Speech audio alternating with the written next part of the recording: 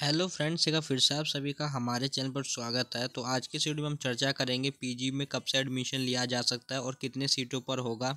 और यहाँ पे और भी चर्चा करेंगे हम कौन कौन से कॉलेजेस में एडमिशन होगा, कौन से ज़िले में। तो देखिए, यहाँ पे नोटिस आया हुआ है, विश्वविद्यालय के पीजी विभागों में एक सौ सीटों पर नामांकन की तैयारी शुरू। और उसके बाद यहाँ पे लिखा हुआ इक्कीस पीजी विभाग सहित चार ज़िले के आठ कॉलेजों में होगा नामांकन। अगले सप्ताह से नामांकन के लिए ऑनलाइन आवेदन लेने की शुरू हो सकती है प्रक्रिया। तो यहाँ पे total twenty one post graduate departments है, जिसमें चार डिस्ट्रिक्ट में, आठ कॉलेज में आपका नामांकन लेना होगा। या तो आप यूनिवर्सिटी में ले सकते हो, या तो आप अपने कॉलेज के जो नियर आपका पढ़ रहा होगा वहाँ पे आप ले सकते हो। उसके बाद अगले सप्ताह से नेक्स्ट वीक से आपको ऑनलाइन अप्लाई होना चालू हो जाएगा और मैं आपको बता दूँ किस तरह से आपने करना है। अगर आपने ग्रेजुएशन कंप्लीट कर लिया और ग्रेजुएशन में पास हो चुके हैं तो आप निश्चित रूप से यहाँ पे आवेदन कर सकते हैं। और इसके लिए एंट्रेंस होगा या नहीं होगा, वो भी मैं आपको आगे वीडियो में बताऊँगा। तो आप वीडियो को पूरा कंप्लीट देखिए फ्रेंड्स तो देखिए, यहाँ पर लिखा हुआ ललित नारायण मिथिला विश्वविद्यालय ने पी प्रथम सेमेस्टर सत्र इक्कीस से तेईस में नामांकन की तैयारी शुरू कर दी है। उम्मीद है कि अगले सप्ताह से नामांकन के लिए ऑनलाइन आवेदन लेने की प्रक्रिया प्रारंभ हो जाएगी।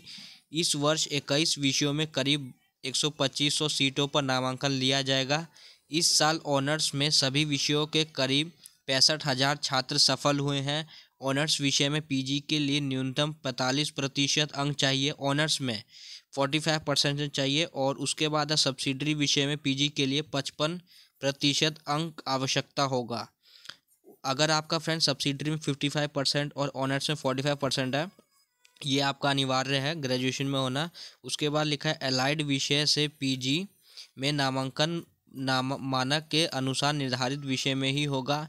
इक्कीस पीजी विभाग सहित दरभंगा के चार समस्तीपुर के दो, मधुबनी के बेगूसराय के एक एक कॉलेज में पीजी कोर्स में नामांकन होगा। इन कॉलेजों में CM college, CM science college, MRM college, LMSM college, Samastipur college, RB college Dal Singh Sarai RK college व जीडी कॉलेज शामिल है।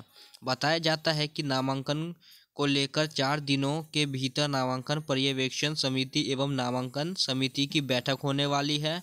पूर्व के नामांकन पर्यवेक्षण समिति के दो सदस्य doctor Arvind Ranjan Singh, doctor K K Sahu के सेवानिवृत्ति, एक सदस्य डॉक्टर रतन कुमार चौधरी की मृत्यु तथा एमआरएम कॉलेजों के प्रधानाचार्य डॉक्टर अरविंद कुमार झा के जिला मुख्यालय से स्थानांतरित हो जाने के कारण समिति पुनर्गठन किया।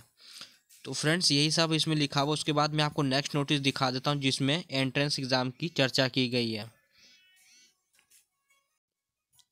तो ये देख सकते हैं फ्रेंड्स, इसमें यहाँ पे एंट्रेंस के बारे में दिया गया इन्फॉर्मेशन बिना प्रवेश परीक्षा की पीजी में लिया जाएगा छात्रों का नामांकन। तो आप सभी के लिए यहाँ पे खुशखबरी, बिना एंट्रेंस एग्ज़ाम के ही एडमिशन लिया जाएगा। पिछली बार भी यही हुआ था फ्रेंड्स, कोरोना काल के कारण यहाँ पर सेशन लेट ना हो जाए, इस कारण आपका एंट्रेंस नहीं लिया जाता है। तो देख सकते हैं, बैठक में क्या क्या निर्णय लिए गए? ग्रेजुएशन के प्राप्तांक के आधार पर विषयवार तैयार होगा, मेधा सूची, जिसको मेरिट लिस्ट बोलते हैं। उपलब्ध सीटों पर उच्चतम अंक वाले छात्रों का होगा एडमिशन नामांकन पर्यवेक्षण समिति की बैठक में लिया गया निर्णय। आज होगी नामांकन समिति की बैठक। ऑनर्स विषय में पीजी के लिए न्यूनतम पैंतालीस प्रतिशत, फोर्टी फाइव परसेंट होना अनिवार्य, पहले बता दिया गया था। उसके बाद यहाँ पे इग्नू के लिए बोला जा रहा है, इग्नू में दस फरवरी तक ऑनलाइन नामांकन करा सकेंगे छात्र। तो यही सब है फ्रेंड्स। उसके बाद यहाँ पे एलएनएमयू के बारे में दिया गया, इक्कीस से तीस, इक्कीस से तेईस में नामांकन के लिए प्रवेश परीक्षा नहीं होगी। उसके बाद यही सब लिखा हुआ जो उसमें लिखा हुआ था। और अगले सप्ताह शुरू होगी नामांकन के लिए ऑनलाइन आवेदन की प्रक्रिया। यही सब है फ्रेंड्स तो आपको चिंता करने वाली कोई भी बात नहीं है। आप अपना परसेंटेज देख लीजिए। अगर आपका फोर्टी फाइव परसेंट है तो आप निश्चित रूप से अगले हफ़्ते से आवेदन कर सकते हैं। मैं आपको वीडियो में बता दूँगा किस तरह से करना है। तो वीडियो में बने रहे। चैनल से जुड़े रहिए। चैनल को सब्सक्राइब कर दीजिए। वीडियो को लाइक कर दीजिए। मिलते हैं अगली वीडियो में। Thanks for watching this video